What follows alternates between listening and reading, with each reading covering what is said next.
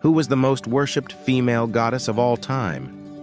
In the beginning, amidst the vast ocean, emerged a goddess of beauty and love, Aphrodite, born from the sea foam after Cronus defeated his father Uranus.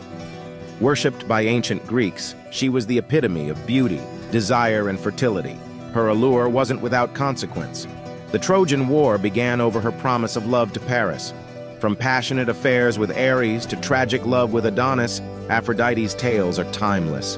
Aphrodite, an eternal symbol of love, reminding us of the power and peril of human desires,